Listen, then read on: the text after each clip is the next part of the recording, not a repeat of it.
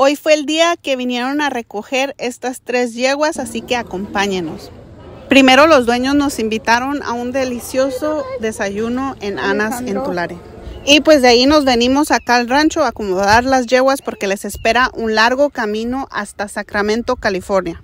Nosotros estamos en Lindsay, California, así que hacen más de tres horas de camino. El burro Pancho es un burro bien afortunado porque para que vengan tres novias a verte desde tres horas de camino es increíble.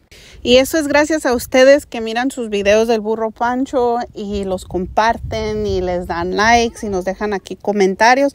Por eso es que mucha gente de lugares retirados pueden mirar los videos del burro Pancho y pues venir y traernos sus yeguas de muy retirado. Y aquí entré a atrapar a la palusa y aquí está con el hijo del dueño de la palusa.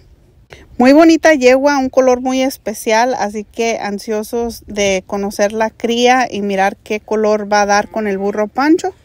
Ya después de allí eh, nos fuimos a atrapar las otras yeguas. Bueno, yo no.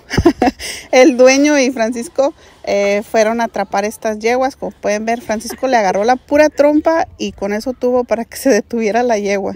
y bueno, pues ya las atraparon, las subieron a la traila y pues ya estaban listos para irse. Ahí nos tomamos unas fotos con el dueño.